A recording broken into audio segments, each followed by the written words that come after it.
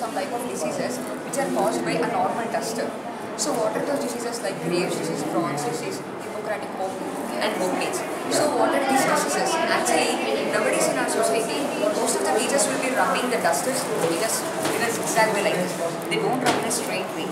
So what happened is some of the dust evaporates upwards and some dust comes downwards. So what happened is it be going upwards and again when it falls on head or on our face, so it causes some of the rashes, itchiness on our body.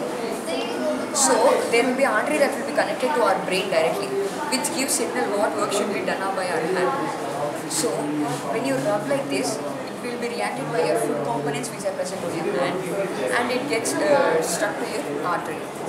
So when you use this one, this duster, it will be prevented. How is when you are going on rubbing with this, when you are being on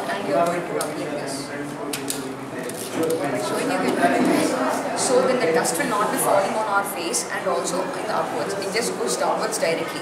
You can use this water, it's a normal H2O water, which you can spray on the board so that it removes all over the dust. And next, you can use this hand sanitizer, which is very useful for us. This hand sanitizer, when we are catching the uh, chalk piece itself, we must apply so that it forms a layer on our hand, which will protect us not be reacted with these chalk to our dust components which are present in our hand and prevent the germs and we can save many of them.